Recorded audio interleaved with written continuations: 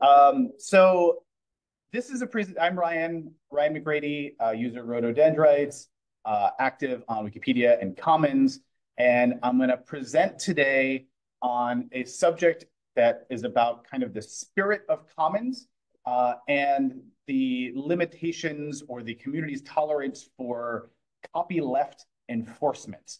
Uh, so we'll get to all these terms uh, as I keep going. Um, let's get started. So first of all, who here has uploaded original work to Commons ever? All right, good on you. Uh, how many of you have seen that work used outside of the wiki world? All right, cool. How many of you have seen work that you've created used wrong outside of the wiki world? Maybe it doesn't credit you. Maybe it doesn't say where, you know, what the license is, doesn't follow all those rules. All right, so um, Ellie, you had your hand up. What did you do? So like one of the things I did was like I upload a lot of election maps and I will repost those on like social media and Mhm. stuff, but usually like reposting the Wikipedia itself.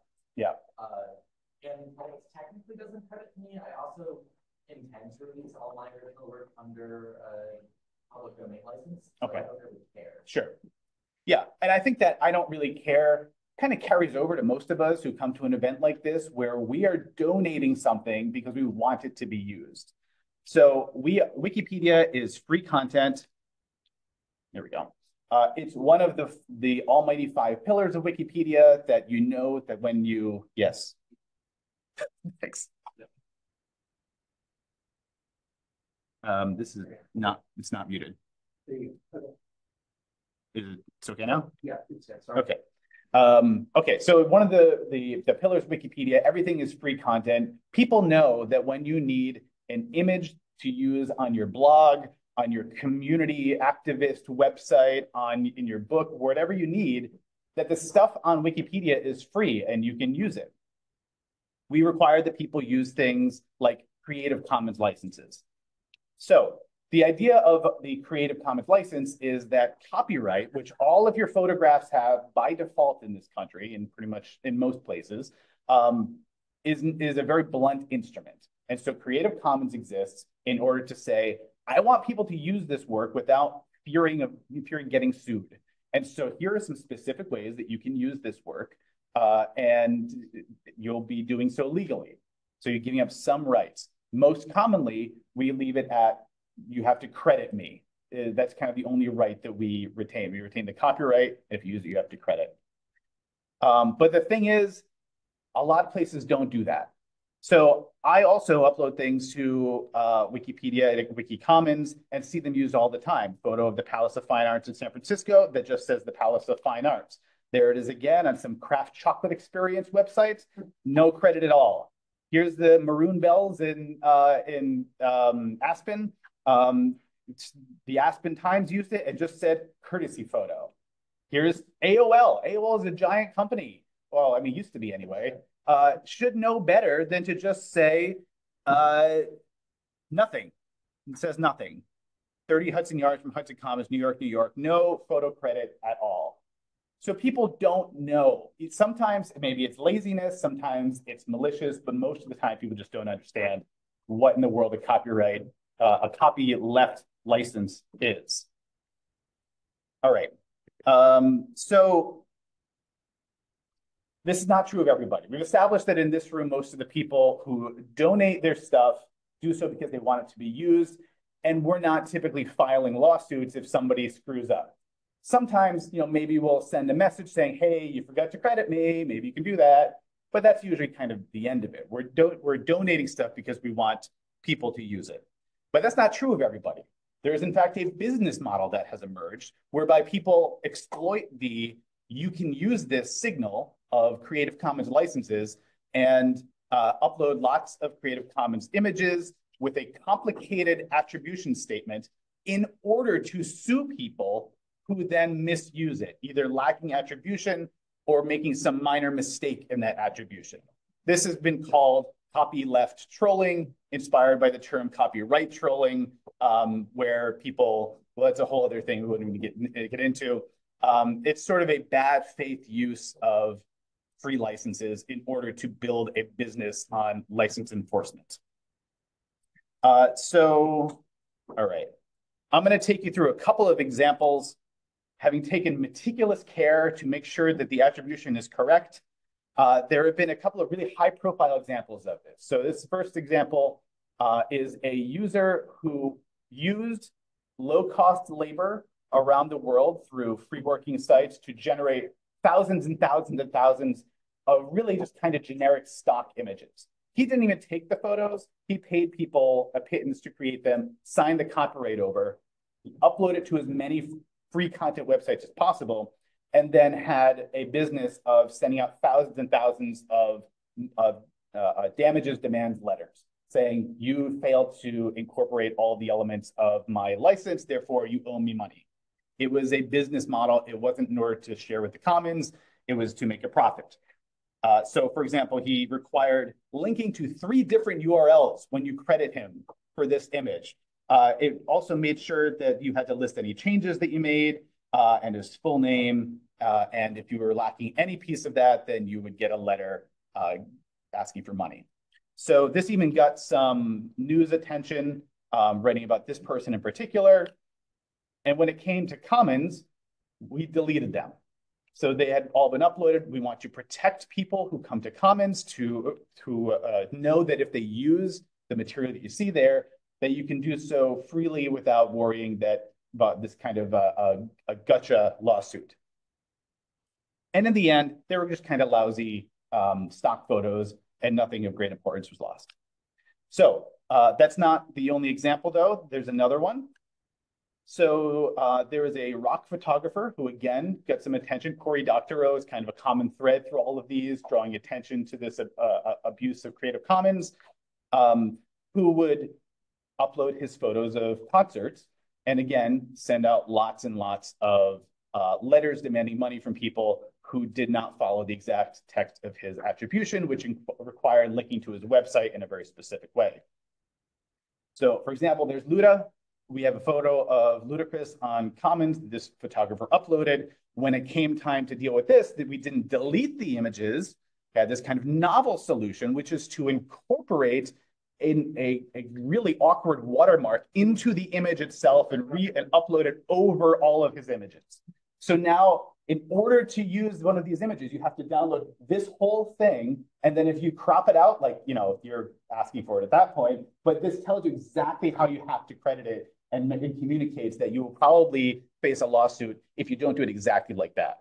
Uh, creates lots of problems uh, to some degree because Wikipedia does not want to have this in there. Uh, yeah. How would links work with a watermark? It's a good question. So uh, because it has the, the full URL in this case, this person did not require three links. This person just wanted their URL to be printed out. Uh, and so it's just, you know, Creative Commons gives you a lot of leeway for what you can request when it comes to attribution. But okay, so uh, there are businesses which facilitate this kind of business model. This is called Pixsy, P-I-X-S-Y. Pixsy crawls the web, finds instances of your images on the web that it thinks may or may not be used uh, uh out of accordance with the licensing, and gives you this dashboard where you can see people using it by country. You can find places that use multiple versions of it. You can like, there's just all sorts of tools to make it very easy.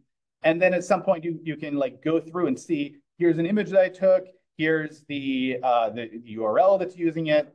Um, is it a commercial or non-commercial website, which is a very ambiguous term in this case.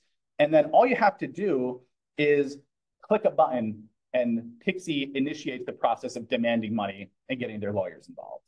So it really lowers the bar for someone who wants to make money off of copyleft enforcement um, to just click a button. You can click 10, 20, 30 buttons at a time, initiate all these lawsuits just in a matter of a few minutes.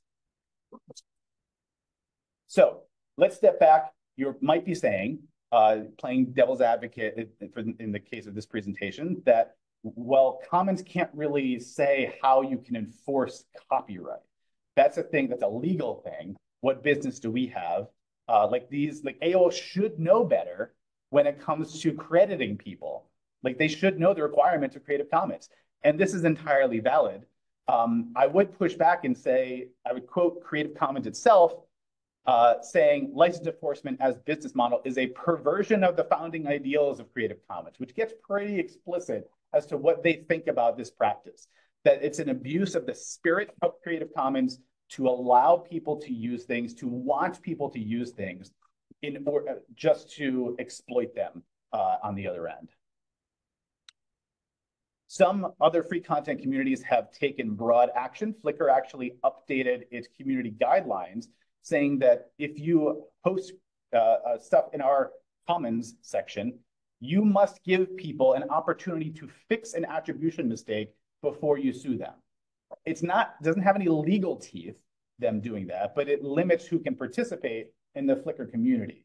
And so a lot of the folks that we just saw, their stuff has been taken down off of Flickr because they do not allow an opportunity to fix the issue. Um, but lest we assume that Commons always comes down hard on these issues, there is uh, there have been many other cases where people have um, engaged in behavior that some have called copyleft trolling and some have called just kind of aggressive copyright enforcement, trying to search for the um, the the line there. Um, and there was a recent case of one of the most prolific creators of featured pictures um, who had a lot of complaints from people saying, I used this image, I found it on Wikipedia, and then I got this letter demanding money. Um, lots of discussion came out of that. No consensus for anything. So we still have all the images. The only thing that came out of it was a guideline, uh, which we can use later. Disclosure, I wrote the guideline and would like all of your feedback on it sometime afterwards. Um, but this just tries to lay down some, some ways to try to um, determine if something should be considered copyleft trolling. So like, do they give an opportunity to fix the, the error? Um, do they distinguish between complete absence of attribution and just a slight mistake? Like these kinds of clues, presenting precedent, possible uh, interventions. So finally, I want to introduce, uh, I take a different view of this. So Poka-yoke is a term from automobile manufacturing, Toyota in particular. And the, term was originally idiot proofing, but now it kind of turned into error proofing to be a little nicer. So it's a design concept where, for example, if you have a microwave at home, you cannot turn it on while the door is open. This is idiot proofing the microwave.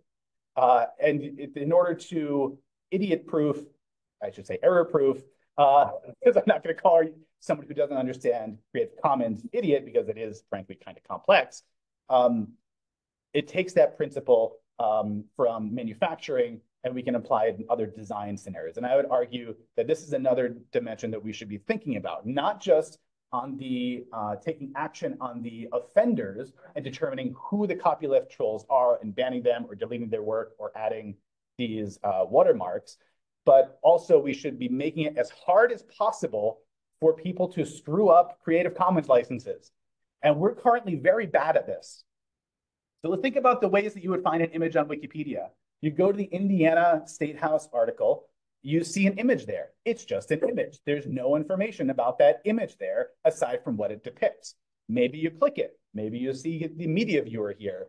Uh, and you see down there in the corner is this CCBYSA that nobody knows what that means. Nobody knows they're supposed to click it and read a whole legal text before using this. All you see is the image. We have a friendly download button there. We have the, the name of it. It's, it's just there. Why is it so easy for people to misuse the stuff that we upload? Well, what are some things we can do? One thing, very controversial idea, is Dominic here? Dominic's not in here. Um, this is something that Dominic had proposed years ago, um, which was to include image credits in articles. And it gets a lot of pushback because the community kind of says, well, we don't want to credit individual authors of content. Uh, on the other hand, it's the it's a, a, a gap in our typical verifiability and cita citing sources policies to have an image where you have to go to another website, create a uh, Wikicommons, in order to know its provenance and who took it and where it came from. So you could do something like just have a citation. But let's not stop there. You could have a pop-up when clicking an image while logged out. This is kind of heavy-handed. If you're logged out, being the people that probably are, are most likely to be using the, this stuff, you could just have a, would you like to use this outside of Wikipedia? You click yes, you get, a, you generate exactly the text that you need to use. We could have a giant banner in Media Viewer rather than a little tiny text in the corner. We could have the Indiana State Capitol and then a big banner saying, I mean, this is a little heavy handed, but it is illegal to use this image without following these instructions. If you want to use this outside of Wikipedia, you must use this, this attribution exactly. So for a lot of us that upload, this doesn't actually matter, but this makes it so that our users of these images are not falling prey to the people who form a business model out of copyright enforcement. One more. Disable right-click saving and require clicking on a download button with a pop-up. So the, there's a little download button in the bottom right. Uh, so this is similar to what Flickr had done before, where you can't just right click and save. There's a step you have to go through. So in this case, click the download button and say, oh, are you downloading this because you want to use it outside of Wikipedia? Well, here are the rules for that. So to some extent, like it's hard to blame people for messing this up. It's not at all obvious outside of people who go to conferences like these, what you're supposed to do to properly attribute a Creative Commons image. And that creates problems with these folks who, are, who have this business model. So um, I don't think I have, have very much time left, but it, this is you know, a big what else uh, that I guess I would leave you to think about and perhaps share on that copyleft trolling guideline uh, talk page to say what other kinds of design interventions can we use to error-proof Creative Commons image use on, uh, on WikiCommons. Um, very important documenting these that I use the images from those folks. Uh, and thank you.